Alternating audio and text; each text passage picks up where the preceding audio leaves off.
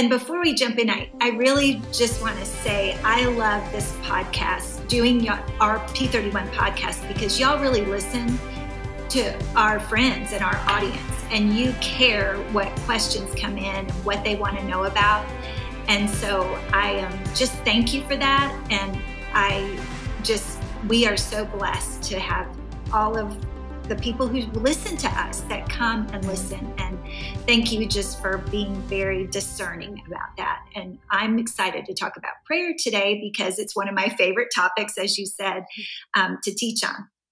And I'm really excited to address these two questions that we talked about because I get asked them a lot.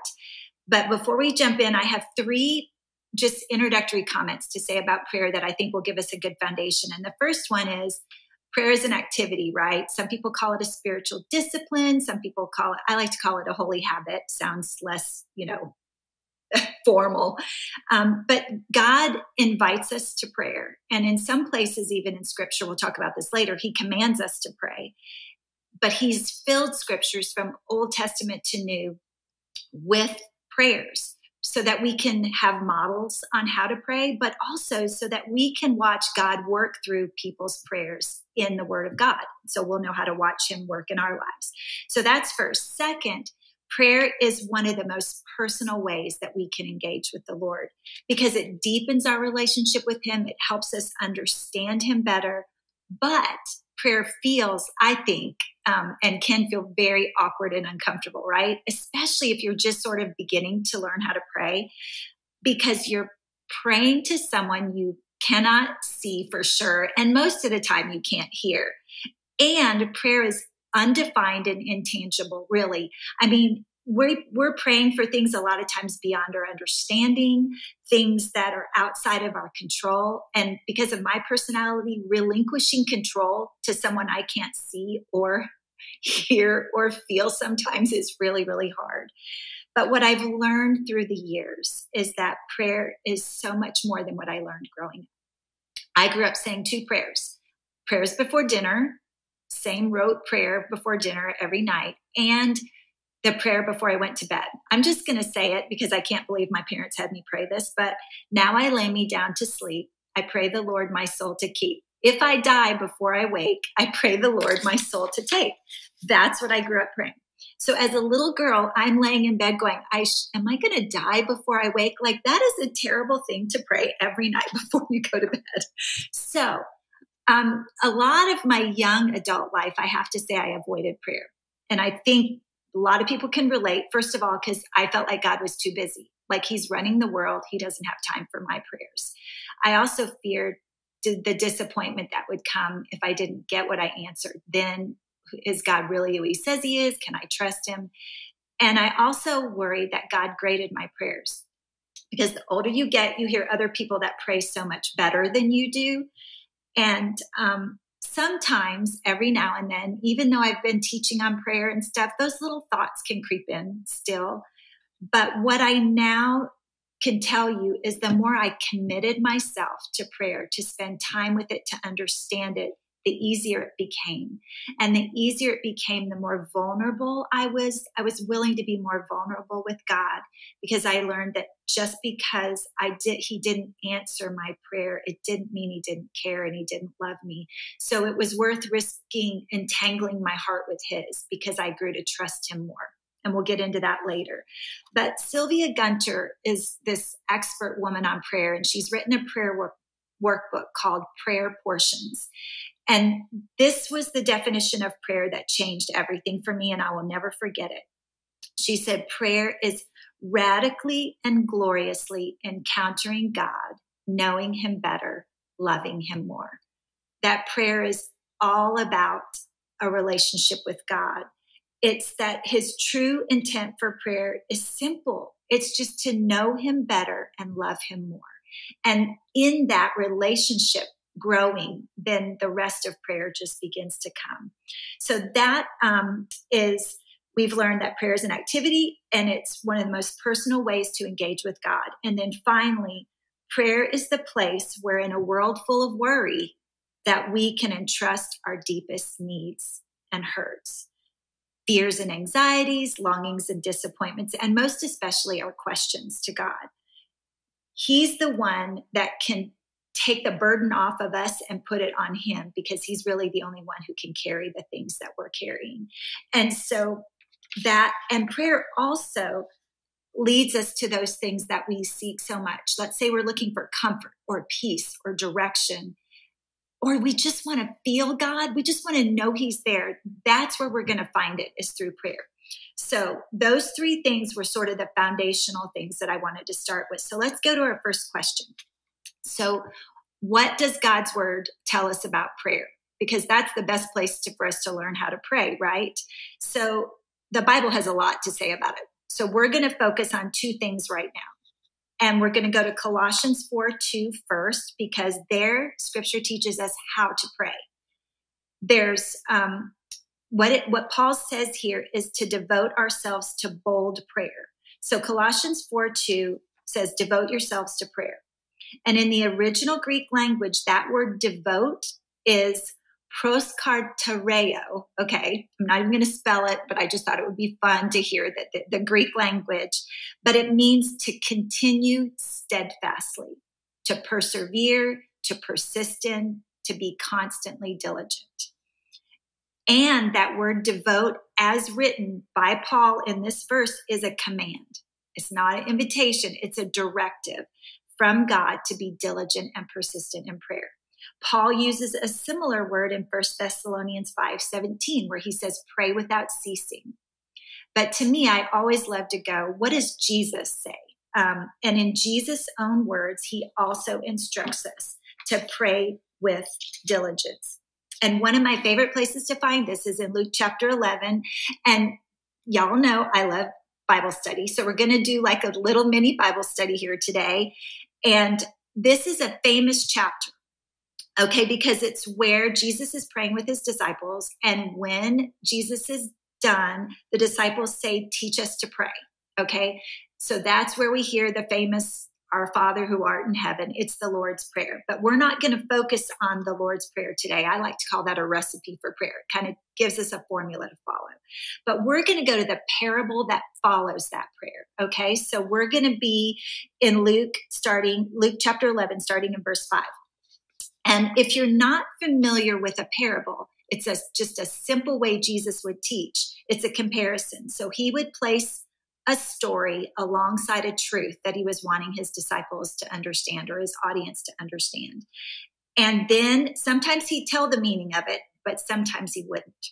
Here, we're going to read first verses 5 and 7. Luke 11, if you have your Bibles, um, but if you don't, don't worry, I'm going to read it. Then Jesus said to them, Here's the parable. Suppose you have a friend and you go to him at midnight and say, Friend, lend me three loaves of bread. A friend of mine on a journey has come to me and I have no food for him. And suppose the one inside answers, Don't bother me. The door is already locked and my children and I are in bed. I can't get up and give you anything. All right, Kaylee, I thought of this story with you and me. Okay, so I'm going to give this, I'm going to take this more sort of personal. But okay. um, let's say Kaylee's my neighbor and my family and I have gone to bed. We've turned the lights out. And Kaylee, Kaylee gets a knock at the door and someone comes to her house. And she remembers her fridge is empty, her cupboards are bare, she has nothing. Well, in Jesus' day and time, hopefully still today, we're hospitable people, but in Jesus' day and time, you would never turn someone away and you would always feed them a great meal. So Kaylee says, "Oh, Wendy is a great cook. She'll she always has stuff in her house. So I'm going to go over to her house." So she knocks on my door and shares her little story. And I'm not sympathetic or hospitable because my lights are out. I'm tired. I've gone to bed. Everyone knows that. So I tell her to go away. Now listen to Jesus' words in verse 8 that tells what the neighbor in this story did. The neighbor in this, Jesus says, after Kaylee asked, Jesus says, I tell you, even though he will not get up and give you the bread because of your friendship, yet because of your shameless audacity, he will surely get up and give you as much as you need. So in our story, Jesus is, is saying, I didn't give Kaylee the food because we were friends. I gave her the food because she was driving me crazy. She wouldn't stop asking for food.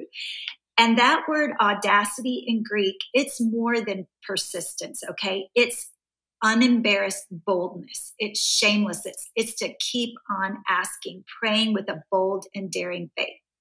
And so here, that principle on how to pray is so important that we need to realize our need for God. And God wants to ensure we know that we come to Him with our need, like Kaylee went to her neighbor, and that we just keep on asking and we pray with shameless boldness because He's the one who can provide. So that's how we that's how we pray. That's our first way. But then Jesus tells us what to pray.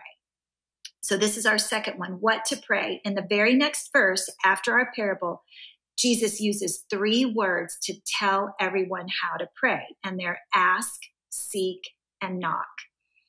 And so here's verse 8 I say to you, ask and it will be given to you, seek and you will find, knock and the door will be open to you. Here's the answer For everyone who asks receives, the one who seeks finds, and the one who knocks, the door will be open. So when we're faithful to ask, seek, and knock, we're going to receive, find, and encounter open doors. In other words, he's saying, when you pray, I'm going to be faithful to act. Okay. So that's a promise. He'll be faithful to act. But the way we're going to pray there's two ways that we can pray here. We can pray feelings led feeling led prayers or faith led prayers. This is what makes a difference with the ask, seek, and knock. So we're to be led by faith and not our feelings. What's the difference? Feelings led prayers are led by our emotions, okay? And they always will change. And feeling led prayers will diminish when we pray led by that over time because they're results focused. We're always, based on our feelings, praying for the results that we want. Okay. Now, faith led prayers are led by the Holy Spirit, who lives inside of us, who is constant and doesn't change. So, spirit led prayers will most often not diminish our faith, but will increase our faith even when we don't get that result that our emotions are looking for, because we trust in God and not the result. Okay. And that comes over time. That comes over time in praying. But praying faith led prayers is very important because, y'all, we may not receive the answers that the specific answer we ask for. We may not get the specific thing that we ask for. God may not open the exact door that we're asking for. He's going to open a door, but it may not be the one we ask. And the prayers probably are going to not be answered in the time frame that we want. So, as long as we begin to develop this relationship with God over time through prayer, and we're going to get into this in the next section, where we're how we can develop that trust that we're hearing God's voice but my, I just want to tell you my experience here is the more you commit to pray, the more you'll see God at work in your prayers. The more you see God at work in your prayers, the deeper your faith will grow. That will help you pray more and more of those faith led prayers. And the deeper your faith grows, the more you're going to ask, seek, and knock. And you're going to anticipate seeing and hearing God at work in your prayers. So that's one answer to the first question. Now we're going to go into this how do we hear God's voice in the next section? How are we going to know that that he's um, that that's who we're hearing in that conversation? So most of us, honestly, this is question two. If prayer is a two way conversation, how do we know that we're hearing God? Most of us are never going to audibly hear God's voice. Every now and then, even I've had an experience, but it's very rare where I felt like I heard God's voice, but it doesn't mean He's not speaking. Because honestly, sometimes we aren't listening and we aren't watching for that, or we don't know how to listen and watch. And that's what I'm hoping to help you with today. That's what I've learned through the years because God is always speaking to us, but it's very creatively and you have to kind of look for it and listen for it. So, one way to do it is through his word. And honestly, it's the best way to do it. It's through scripture. because when we draw close to him, this is where he speaks the most. But he also sometimes has circumstances happening around us that if we're listening and watching for what we're praying for, we're going to be invited into some circumstances where we're going to receive an answer to our prayer. And I'm going to uh, give you a really solid example in a little bit. And other times there's what the scripture will call sort of this still small voice. And to me, those are what Kaylee was talking about at the beginning. Like when, when I just, like God put her name on my heart. And so I had a verse or a prayer and I sent it to her. I had no idea what she was walking through. I didn't know she needed it. He just laid her name on my heart and she was just stunned because she needed that. That's that still small voice. Um, so I wish I had a perfect formula. I could say how to hear God's voice. Um, it's a mystery, but I can tell you ways we can do that, ways we can. But I want you to think about think about your really closest friend right now. And let's say you were standing in line for popcorn in a movie theater and you heard a voice behind you and you knew in that moment it was Meredith. You know Meredith's voice, right? Kaylee, you know her voice right behind you. You didn't even have to turn around. That's God. If we're in his word, then we're going to know his voice. That's the best example I can give you. But you're not going to know the voice of our new employee who started two days ago at Proverbs, but you'll know Meredith's voice. So that's, um, to me, spending time in God's word is probably the best way to connect your heart with prayer with God. So I'm going to close us with tips on prayer. That's how we're going to spend the rest of this time because this is the way I'm hoping through these tips. And please know they're not rules, they're not regulations, they're helpful guidelines to help you deepen your prayer life. And the first one I can tell you is to pray specifically, because the more specific you pray, the more likely it is you're going to receive your answer. And what I mean by that is you're going to see God at work. The second tip is pray expectantly and that that's that watching and waiting and anticipating look for god at work in your prayers so if you are in scripture look for a verse that might come across your path that's an answer to your prayer or if someone that you know just lost someone they love and you get this a verse in front of you about comfort then you have something you can send them um, but I always say in all of these, show me, Lord. That's my prayer when I'm in your word. Show me, Lord. Secondly, look for a change in your circumstances. If you're looking, my son was looking for a job to move back here. I literally, a door opened and it was like, okay, God, if this is right, give me affirmations. And he had one after the other because he's saying, show me, Lord, if this is right. And finally, you can be listening to worship lyrics. You can have a mentor. You can have a prayer partner. You can be in church and your pastor says something, that's another way to just be listening, have open ears, listening to hear from the Lord. So that's two. Then this one is going to take the longest because when I say the word journal, I don't want y'all to like go away now because you're like, I don't journal. Okay, when I say the word journal, it can be writing in a notebook. It can be putting notes on your phone. It can be note like a flip note cards. But this is a place, if you can journal in a notebook or somewhere, write down the things that you're praying about that day or that week. And then when you receive a verse, when you receive an answer, go back and put it in there because those are the things where you're recording what God is doing. And that's when next time you're praying and it's a really hard space, you can go back and remember his faithfulness. So here's my best example. And I love it because it's a two way example and it's very practical. Um, my daughter is now 28, but when I sent her off to the University of Georgia when she was um, 17 years old, um, I was so worried about her faith growing. So I gave her a devotion book and I also said, whenever you need anything, will you just promise you'll call me to pray?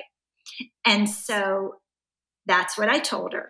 Well, during a specific example, during her second year, now this is how long ago this was. She's she's 28, right? So during her second year at Georgia, she was in like an honors program and she got a really bad exam, a bad grade on an economics exam. So she had another one to take. So she texted me and she said, Mom, I have a huge exam tomorrow. Would you please, please pray for me? So I just texted her back a really fast prayer because I was in the middle of watching one of my favorite shows. So I was like, oh, okay, here we go. And I'm sorry, but sometimes that's just what you do, right? As a mom. And then, but not two minutes later, the Lord put this verse on my heart, Proverbs 3, 5, and 6. And I had it memorized, so I knew what it said. I knew Lauren knew the verse. And so I just texted it to her.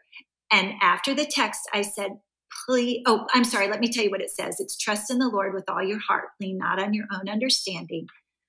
In all your ways, acknowledge him, and he will direct your paths. Okay. So I text that to her, and afterwards I say, I pray this encourages you and gives you confidence that you have studied and you're prepared. So walk in confidently. And y'all, the next morning, I woke up after her exam, she immediately sent a text. And this is what it says I opened my devotion book today, and today's truth was Proverbs 3, 5, and 6, the exact verse you gave me. And in these big letters, I wish we had a video and I could show you, but it says encouragement. So remember, I prayed specifically for encouragement. Y'all, she walked into her exam with peace and confidence. And just the end of the story is she did really well on the exam. But why I like this story is it shows both sides of our story for her. My daughter knew to pray when she needed something, right? And she knew to reach out to me because I had said, please reach out to me. So she saw clear evidence of God at work by not just answering her prayer, but how creative was that to give me the verse that showed up in her little devotion book that she had on the very day she needed it. So, but for me, because y'all, I journal, that's why I could come back to you all these years later and share this story with you because I just can't tell you what a comfort that is to go back years later or to show, I can show my kids now verses where I've prayed things for them and now they're adults. And I go, Do you see how God's been faithful to the prayers I prayed as a mama when you were five? So, um, prayer is so intimate and so beautiful and i just can't say it enough but so okay so we've talked about pray specifically pray expectantly and journal the rest of these will go pretty quick the next one is confirm what you hear lines up with god's word. God will never tell us to do something contrary to his word okay? Never ever ever. He um but but how can we know if something's contrary to his word if we don't know it? So once again this just points you back to being in the word of god.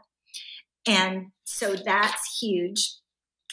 Um, the next one is seek god's confirmation through friends through mentors, through your pastors. Maybe you're in a Bible study at church and you've got friends there, your husband, your best friend, your family, whatever. Just look for confirmation. Um, ask people to be praying for you and see what they hear from the Lord. And then be willing to trust God in the wait. This is the last one, and that's the hardest. And um, I'm just going to be honest, it's really hard to wait. But uh, my pastor's wife calls it the weight room, the W A I T room, rather than the lifting weight room. Um, but that's the place, y'all, where he speaks, where he ministers, where he convicts, where he redirects. And so we need to keep our eyes not on the result because we're looking at the result. We're going to miss all of this and miss the precious work he does in here in our hearts. Oswald Chambers says the idea of prayer is not to get answers from God, it's perfect and complete oneness with God. And doesn't that remind you of Sylvia Gunter, where she says it's radically and gloriously encountering God, knowing Him better and loving Him more? Um, and I miss that part of prayer sometimes because I sometimes just so want the answer I ask for. So look for God in the wait, ask for grace in the wait. Um, don't just want to get to the other side because in the wait, and I wrote this down, so I want to say it right. In the wait, we learn that our relationship with God is not dependent on getting the results we want, though that's great. It's more about relinquishing our will in order to join God in His. And He'll use that time to change our hearts to align with His. And that's a big concept. So as I close today, I want to encourage you we learned today to devote ourselves to unceasing, bold, faith filled prayers. That's number one. And then number two is just to wait and watch and anticipate and look at for him to be at work and then record and celebrate what you see. Even if the answer isn't what you asked, I promise you, you will see a way to celebrate the Lord in the way he's worked through your prayers. So thank y'all so much. Wow, Wendy, that honestly probably one of the best teachings I've ever heard on prayer. Oh, the you. most clear um, and concise teachings, I think, and really helped bring some clarity. I um, am going to tell you, you're not going to believe this, even in the scripture that you used in Luke 11. I had never, I've, I went to Bible school. I have a bachelor's degree in bi- biblical studies. uh, I had never read that verse, or at least it had never really registered until probably three months ago. And God used you today to remind me of that verse for something that I have been praying for that is happening tomorrow. So, no kidding. The same thing that happened with your daughter. Look at how he does it. Look at how he places these little moments to remind you no, no, no, I see you. I heard your prayer. I'm with you. Keep asking. You know, don't give up. So I just wanted to pause and encourage you, even in the recording of this podcast, he's answering, yeah. he's hearing and answering our prayers. Um, but I do have a question for you that oftentimes I wrestle with a lot when I'm praying that feels it's just hard. It's a hard question. Mm-hmm. Okay. So prepare yourself. I, you know me enough to know I sometimes play devil's advocate yeah, a little bit. Go ahead. This, is a little devil's advocate, but it's because I know I wrestle with it. So I'm going mm-hmm. to assume our listeners are mm-hmm. wrestling with it a little bit too. And that is, I loved how you broke down this idea of faith based prayers versus feeling based prayers. Mm-hmm. Oftentimes, the feeling based prayers really are, and I admit it, oh my gosh, all day long, they are, I'm I want a result. Yeah, I really exactly. want a certain outcome mm-hmm. to happen. And so I'm praying to that end. And I'm saying, Lord, this is, I want outcome X. Please, can I mm-hmm. have outcome X? I think this is in alignment with your will. I don't see how mm-hmm. it couldn't be. Can you please give me outcome X? Right. You know, at the same time, I hear you saying, and I think it's accurate, but it feels a little bit in opposition that's different than having a faith based prayer, mm-hmm. which really is choosing to trust God yeah. with those outcomes. And so I think that sometimes can feel in opposition to praying mm-hmm. specifically.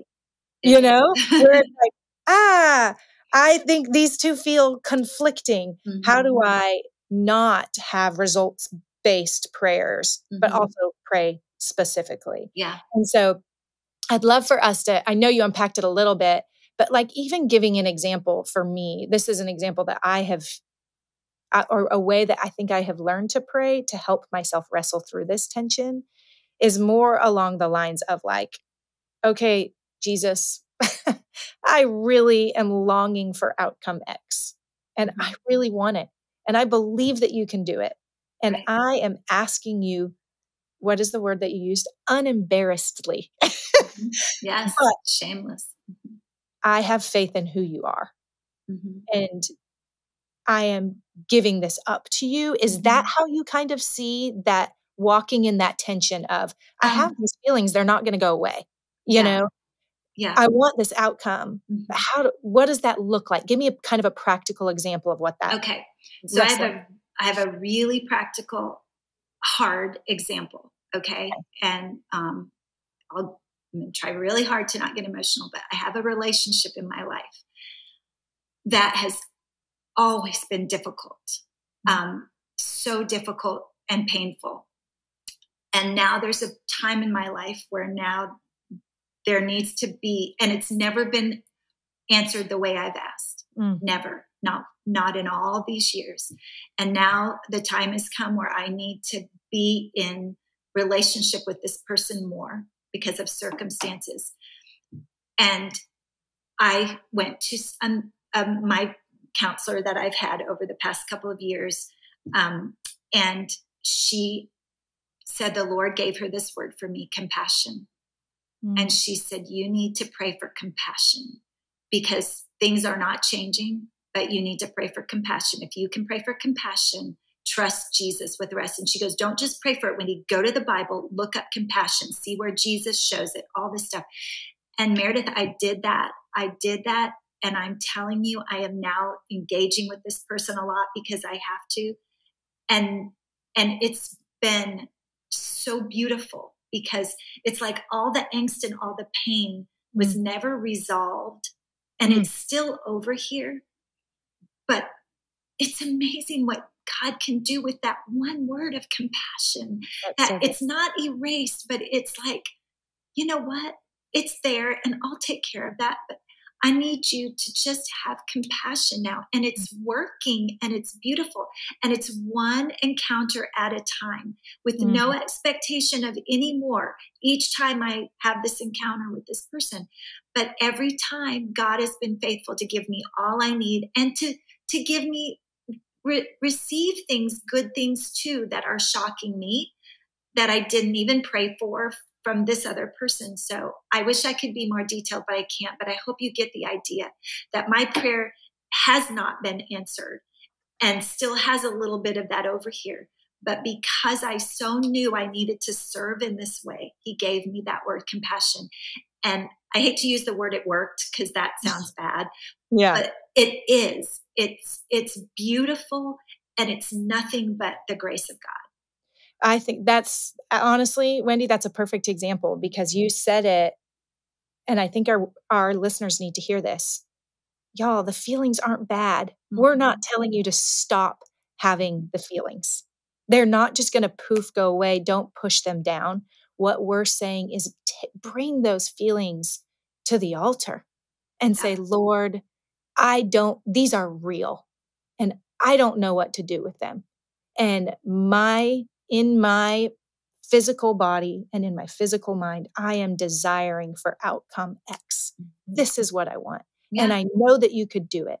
But if it doesn't come in alignment with your will, help me know what does and help yes. me pursue what does. And so I just want our listeners to hear like, we're not saying don't have those feelings, have those feelings mm-hmm. and bring them to Jesus for Him to contend with them because he may not give you the outcome that you mm-hmm. in your physical body and in your physical mind desire he will give you what is better and what is mm-hmm. good which often yes. means a change of heart and and what's necessary for what needs to happen in that situation yeah. or relationship and what i prayed for y'all was good it was healing and wholeness and unity mm-hmm. and those are good things but those are two way party you know there's two mm. people and so one that you both have to want it. So if the other person isn't doing that i mm. need to be the one to change and the only way i could change was to do that. But it doesn't take away those feelings. They're still over there. I still long for that. Mm. i won't give up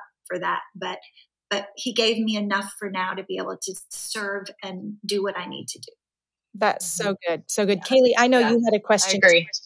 Well, yeah, I did. Well, I you actually answered it, so I've got another follow up. But what my question was going to be is, what are those ways that we can measure how um, the Lord is increasing our faith? Because that seems like a very like mm. biblical term to hear. But Wendy, you just answered that. Mm. You answered it in saying that God gave you a word for you to focus on and change your heart. And I think that if the Lord is increasing our heart, there's no way for us to not see mm-hmm. that it's changing. And that's a way that we can see that our faith is increasing. So, uh, my question is really for the woman who is listening to this right now saying, I have tried prayer.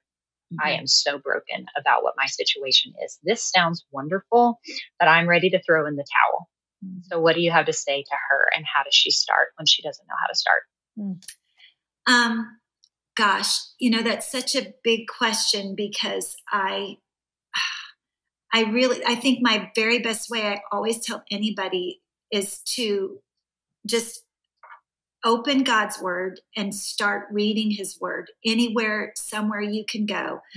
And just say, Lord, speak to my heart, minister to me where I am.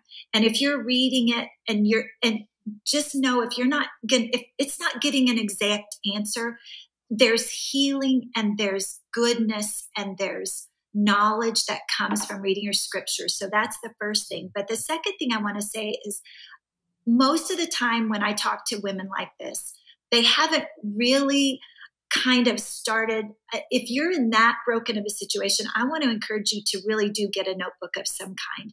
Write down all the hurts that you have, put them mm-hmm. down, say them, and say to God what you need to get this out. You know what I'm saying?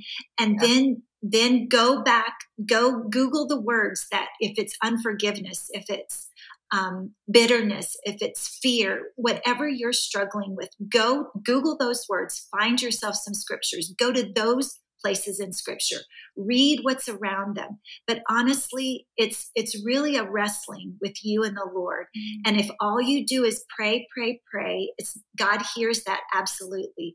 But there's there's I don't have my Bible right next to me, but I want to hold it up and tell you this is where his healing. It says in scripture, my word is health to your body and healing to your bones. Mm-hmm. And I I literally have a friend whose son has he is on trial for murder mm-hmm. while she's recovering from breast cancer.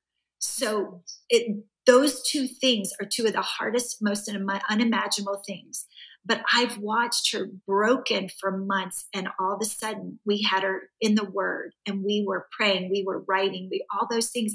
And slowly but surely, God began to give her words. And it's been beautiful to mm-hmm. watch her.